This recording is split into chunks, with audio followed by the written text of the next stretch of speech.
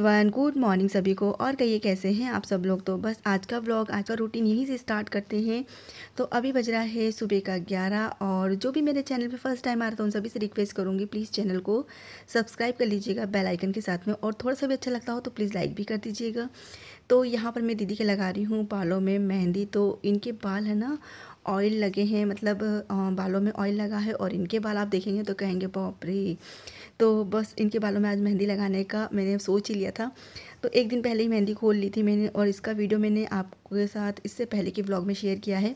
तो ये ओवरनाइट मेहंदी खोल के रख दी थी मैंने और इनके बाल ना काफ़ी घने हैं, काफ़ी बड़े हैं। पहले से तो हाफ़ रह गए इनके। जब हम लोग शादी हो के आए थे उस समय हमारे बाल बहुत अच्छे थे और अब धीरे धीरे करके कम होते जा रहे हैं और इनकी अब क्या तबीयत भी ठीक नहीं रहती है। दीदी के तो काफ़ी घने बाल थे और काफ़ी लंबे बाल थे।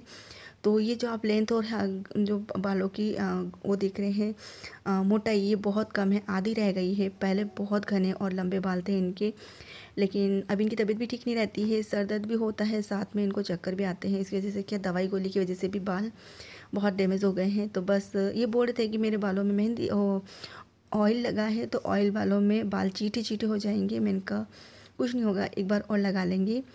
तो एक बार और लग जाएगा ना तो अच्छे से रस जाएँगे ना, उसके बाद फिर शैम्पू से धो लेंगे दो तीन दिन बाद तो सब निकल जाएगा और मेहंदी का कलर भी काफ़ी अच्छे से आ जाएगा। तो यहाँ पर मैंने मेहंदी में आंवला पाउडर डाला था और आंवला पाउडर डाल के गला दिया था और ज़्यादा कुछ नहीं डाला था। तो देखिए किस तरह से लगाते हैं इस तरह से ऑयली और लंबे बालों में मेहंदी, ये देख लीजिए आप। तो मैं तो सिर्फ़ हाथ से लगा रही हूँ क्योंकि और सब मैं ब्रश से लगाती हूँ, लेकिन मैं आज हाथ से ही लगा रही हूँ और हाथ से जितने से अच्छे से लगती है ना, उतने अच्छे से ब्रश से नहीं लग पाती है। और इनके इतने बड़े बड़े बाल हैं ना कि मुझे हाथ से ही लगाना सही लगता है। और फिर जूड़ा बना दूँगी तो ये तीन चार बजे तक धो लेंगे। अभी बज रहे हैं ग्यारह। अनुष्का को छोड़ के आई। हम लोग हॉस्पिटल भी होके आए। उसके बाद फिर इनको मैं मेहंदी लगा रही हूँ। और इस चक्कर में मेरा मेहंदी, मेरे अपने बालों में मेहंदी लगाना मैंने कैंसिल कर दिया। क्योंकि फिर मुझे एक बजे अनुष्का को लेने भी जाना है और फिर मेरे बाल भी नहीं धुल पाएँगे जल्दी और रच भी नहीं पाएगी मेहंदी। कम से कम चार पाँच घंटे तो लगी रहना चाहिए बालों में मेहंदी। तो इसी के साथ मैं और भी बहुत कुछ शेयर करने वाली हूँ आप लोग के साथ में तो प्लीज़ आप लोग ब्लॉग में बने रहिएगा। और जो भी रूटीन शेयर करती हूँ तो प्लीज़ आप वॉच करा करें फुल वीडियो वॉच करा करें। अच्छा लगता हो तो उस बारे में कमेंट भी करा करें। ख़राब लगता है तो उस बारे में भी कमेंट लिखा करें। तो बस यहाँ पर मेहंदी लगा देती हूँ, इनको फटाफट फिर मिलती हूँ मैं आप लोगों से।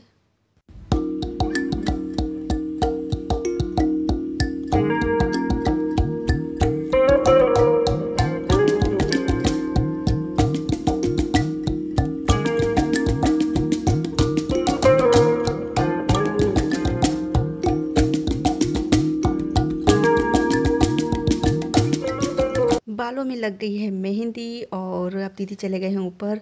तो मैं यहाँ पर किचन साफ़ करने लग गई हूँ क्योंकि किराना जो मैं लाई थी ग्रॉसरी का सामान, वो अभी तक पड़ा है। मैंने सोचा था किचन थोड़ा क्लीन कर दूँगी। ये पेपर जो है ना, ये फट जाते हैं सामान निकालते करते समय और थोड़े बहुत जो काव्या है ना, जो मैगी का डिब्बा निकालती है ना, उस समय कर देती है अस्त व्यस्त पूरा। तो मुझे पेपर बिछाना ही ज़्यादा सेफ़ रहता है क्योंकि आठ पंद्रह दिन में हम बदल दो पेपरों को। तो बस यहाँ पर मैं ये क्लीनिंग कर देती हूँ और अभी होली भी आने वाली है, शीतला सप्तमी भी आने वाली है। तो मैं सोच थोड़ी थोड़ी करके सफ़ाई करेंगे ना तो ही पूरे किचन की और घर की सफ़ाई हो पाती है। नहीं तो एक दो दिन में तो हबड़ तबड़ में इतने अच्छे से सफ़ाई भी नहीं हो पाती है। वैसे अभी साफ़ करने के बाद मुझे किचन एक बार और साफ़ करना पड़ेगा। सारे बर्तन धोने पड़ेंगे। जो मेरे स्टील के बर्तन सारे ऊपर जम रहे ना उनको भी धोना पड़ेगा। लेकिन अभी मैं सोच रही ये वाला एरिया साफ़ कर देती हूँ। क्योंकि पूरा ग्रॉसरी का सामान मेरा ऐसे कैसे ही पड़ा है, उनको जमाना है मुझे। जो खाली डिब्बे हो गए, उनको वॉश कर दूँगी। जो भरे हैं, उनको वापस से साफ़ करके रख दूँगी। तो यहाँ पर ये काव्या को मैंने काम दे दिया है कि ये परमल आप इसमें भर दो। इसमें से जो हाफ़ परमल है ना, मैं वो फ्राई करूँगी और उसकी रेसिपी आपको how to make by Gayatri जो मेरा रेसिपी का चैनल है उस पर मिलेगी। यहाँ पर बहुत सारे अचार मैंने बना के रख रखे हैं तो उसकी रेसिपी भी आप लोग को मेरे how to make by Gayatri channel पर मिल जाएगी देखने के लिए। तो यहाँ पर काव्या ने देखी परमल भरी दी आखिर में डिब्बे में। धीरे धीरे करके पूरी परमल उसने भरी थोड़ी सी बची है तो मैंने कहा इसको आप बाद में खा लेना सेव के साथ में क्योंकि इसको सेव और परमल बहुत पसंद है नमकीन के साथ में परमल बहुत पसंद है। तो यहाँ पर एक काम ख़त्म कर दिया है काव्य ने मेरा और यहाँ पर अचार में बड़े बड़े डिब्बों में उनको छोटे में करके रख दिया है ये सौंफ और खड़ा धनिया था रोस्टेड उसको ही मैंने छोटी वाली बॉटल में कर दिया है। क्योंकि बड़ी बड़ी बॉटलों में थोड़ा थोड़ा सा सामान अजीब दिखता है तो मैंने कहा, जो खाली हो रहा है, उसको खाली करके रख देते हैं। बाकी के जो ये डेली यूज़ मतलब साफ़ होते रहते हैं तो इनको मैं इस तरह से साफ़ कर देती हूँ और फिर वापस से सामान भर देती हूँ। जो ज़्यादा ही गंदे हो जाते हैं, ज़्यादा ही चिकट जाते हैं तो फिर उनको धोना ज़रूरी होता है। और चलिए, मैं कर लेती हूँ फटाफट काम, फिर मिलती हूँ आप लोगों से।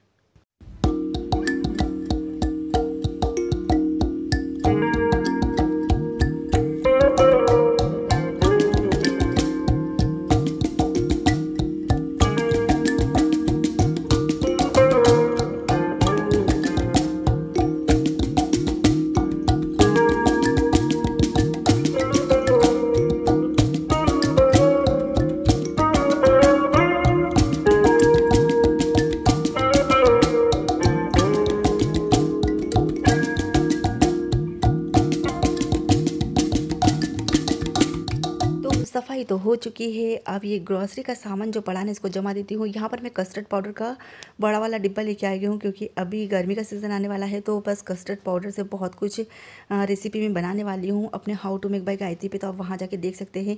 यहाँ पर ब्लॉग में भी आप लोगों के साथ शेयर करूँगी बहुत सारी tasty tasty yummy yummy recipes तो आप सभी से रिक्वेस्ट करूँगी, जिसने भी चैनल को सब्सक्राइब नहीं किया है तो प्लीज़ चैनल को सब्सक्राइब कर लीजिए बेल आइकन के साथ में। तो बस यहाँ पर ये देखिए सामान भर गया। यहाँ पर सारी जो स्नैक्स है ना, वो मैंने एक डिब्बे में भर दिए हैं, बिस्किट एक डिब्बे में भर दिए हैं, नमकीन एक दूसरे डिब्बे में भर दिए हैं, इस तरह से सबके अपने अपने डिब्बे हैं। तो यहाँ पर मैदा, सूजी, ये मैं एक्स्ट्रा लेके आई थी, मैंने कहा अभी शीतला सप्तमी आएगी शायद चार पाँच तारीख तक है, शायद अप्रैल में, शायद मार्च, अप्रैल हाँ। और ये देखिए, इस तरह से मेरे काम है ना, बढ़ जाते हैं। मैं आधी सफ़ाई करके और जा रही हूँ अनुष्का को लेने तो बस फिर आके सफ़ाई करूँगी, थोड़ी बहुत जो बची है।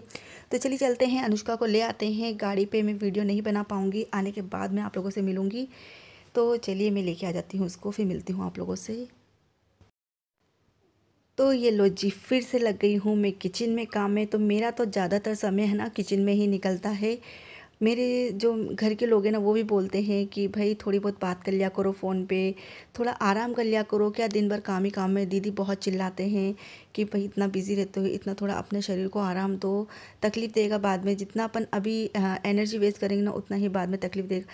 लेकिन जब मुझे तकलीफ़ होती है तब यही बोलते हैं कि आराम तो करते नहीं हो तुम, दिन भर लगे रहते हो, अपना पूरा रूटीन ही बिगाड़ रखा है मतलब वो चिल्लाते रहते हैं। जब मेरी तबीयत ख़राब होती ना, तब और ऐसे तो फिर मैं काम में लगी रहती हूँ। ये देखिए, यहाँ पर ये पूरा फाइनली सफ़ाई हो चुकी है। झाड़ू लग चुका है और यहाँ पर पूरा कचरा है ना, ये पूरा मैंने सफ़ाई करा ना, वो कचरा भरा हुआ है। तो कल कचरे की गाड़ी आएगी, उसमें डालना पड़ेगा। अब तो नया लफड़ा शुरू हो गया कि गीला कचरा अलग डालो, सूखा कचरा अलग डालो। तो वो अलग टेंशन रहता है। कभी गीला सूखे में डल जाता है ना तो उसको निकाल कर अलग पटकना पड़ता है। यहाँ पर ये सर्फ का डिब्बा है, बहुत थक गई थी तो मैं बैठ गई और यहाँ पर काफ़ी डांस करने लग गई। तो ये सर्फ का डिब्बा है, ये सर्फ के डिब्बे में सर्फ भर दूँगी और तो अनुष्का को लेके आ गई हूँ मैं, बस ये सफ़ाई करने के बाद फिर खाना खाऊँगी मैं, उसके बाद आराम करूँगी। तो दिन भर आप लोग को भी लगता होगा, क्या पता ये सही दिखाते हैं कि झूठ दिखाते हैं, लेकिन मैं आपको सही बता रही हूँ, मेरी लाइफ बिल्कुल इसी तरह से है, बहुत बिज़ी लाइफ है मेरी, क्योंकि मेरे दो दो तीन तीन चैनल है, उन पर मुझे वीडियोज़ अपलोड करना पड़ता है, अगर मैं आराम करूँगी तो फिर मैं वीडियोज़ अपलोड नहीं कर पाऊँगी वीडियोज़ नहीं बना पाऊँगी तो फिर वीडियो कैसे अपलोड होंगे?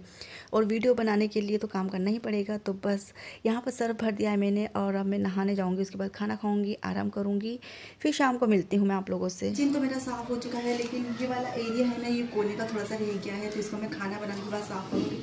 यहाँ पर प्याज लहसुन रखती हूँ मैं तो वही मुझे थोड़ा व्यवस्थित रखना है ऑयल रखती हूँ इसकी टंकी है ये थोड़ा एरिया साफ़ करना है तो मैं सोच फिर खाना बना लेती हूँ उसके बाद इसको मैं थोड़ा नाइट में साफ़ करूँगी तो चाय बना लेती हूँ चाय नहीं पी अभी चाय पी लेते हैं Once a shellfish fox invited a stork to dinner. Very good. पहले इतनी सी लाइन जल्दी जल्दी बोलती हाँ, हाँ Once a shellfish fox Once a shellfish fox invited Once a shellfish fox invited to Oh no ma'am को अगर कुछ समझ नहीं आया तो मैम ऐसे ही कहती है गुड मुझे तो कुछ समझ ही नहीं आया गुड ऐसे बोलती है ला मैं पढ़ पढ़ाती जल्दी से और यहाँ पर चाय बन गई है, मेरी ग्रीन टी बनाई है और बच्चों के लिए मैंने चाय बनाई है। तो चाय और ब्रेड में काव्या को खिला रही हूँ, साथ में उसकी पढ़ाई भी चल रही है और मैं यहाँ पर, ये सहजने की फली है ना, उसकी सब्ज़ी बनाऊँगी। तो बस यहाँ पर मैं उसको पढ़ाई भी करवाती जा रही हूँ क्योंकि दोनों बच्चों की भी पढ़ाई चल रही है। इस वजह से वो इसको नहीं देख रहे हैं, मुझे ही इसको देखना पड़ेगा। तो इसको मैं लर्न करवा रही हूँ। अभी ओरल चल रहे हैं इसके तो ओरल में स्टोरी सुनानी है उसको। तो बस वो स्टोरी मैं उसको लर्न करवा रही हूँ और सजनी की फली आज मैं आप लोग के साथ है ना कुकर में शेयर करूँगी किस तरह से बनानी है कुकर में। क्योंकि कढ़ाई में, तपेली में तो हमने बहुत बनाई है तो यहाँ पर देखिए मैंने मसाला तैयार कर लिया था मिक्सर पॉट में, जिसमें अदरक, लहसन, प्याज, हरी मिर्ची थोड़ा सा धनिया मतलब टू टी धनिया red chilli powder two teaspoon half teaspoon हल्दी पाउडर और नमक टेस्ट के अकॉर्डिंग डाल दिया है। तो ये जो सारे मसाले हैं ना, ये तो मैंने मिक्सर पॉट में पीस लिया था और नमक बाद में डाला है। तो इससे क्या होता है कि एक जैसा पेस्ट तैयार हो जाता है, लेकिन इसको भूनते भूनते समय ध्यान रखना पड़ेगा आपको। तो यहाँ पर जब तक इसका कलर चेंज नहीं हो जाता है, तेल नहीं छोड़ जाता उस समय तक हमको भूनना है, उसके बाद इसमें हम फली डाल देंगे। तो और एक सीटी आने से पहले हम गैस ऑफ़ कर देंगे तो हमारी सब्ज़ी क्या फटाफट बन के तैयार हो जाएगी। मीडियम फ्लेम पर हम इसको पकने देंगे और एक सीटी आने पर गैस ऑफ़ कर देंगे। यहाँ पर मैं आटा भी सान लेती हूँ, आटे के साथ मतलब सब्ज़ी बनती रहेगी ना, उसी बीच में मैं रोटियाँ भी बना लूँगी, क्योंकि मुझे और एक्स्ट्रा काम भी करना है, वो कौन सा काम है तो वो मैं आपको आगे बताऊँगी। ब्लॉग में बने रहिएगा, आप लोग से रिक्वेस्ट है। तो बस यहाँ आटा सान लेती हूँ। उसके बाद मैं रोटियाँ बना लूँगी। तो मैं आपको दिखा देती हूँ सब्ज़ी किस तरह से बनी है कुकर में। तो बहुत से लोगों से कढ़ाई में भी नहीं बन पाती, इतनी चीज़ सब्ज़ी देखिए ये कुकर में बनाई है मैंने।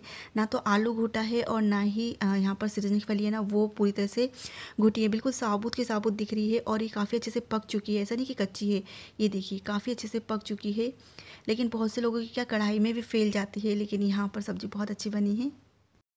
खाना पूरा बन चुका है और अब मैं जा रही हूँ ऊपर सेकंड फ्लोर पे। देरानी की चिप्स बननी है तो उसी की चिप्स बनाने जा रहे हैं। दोनों की बन गई है, दोनों जेठानियों की बन गई है। अब देरानी की बननी है तो उसकी बनवाने जा रहे हैं। और इस समय तो थकान हो ही जाती है, काम कर करके, काम कर करके। तो चलिए, बस उसकी चिप्स बना लेते हैं, फिर उसकी भी बन जाएगी। फिर पापड़ वापड़ बनाते रहेंगे दही पापड़, ये बनते रहेंगे धीरे धीरे करके। क्योंकि ये जो सीज़न है ना, ये चिप्स पापड़ का ही सीज़न है।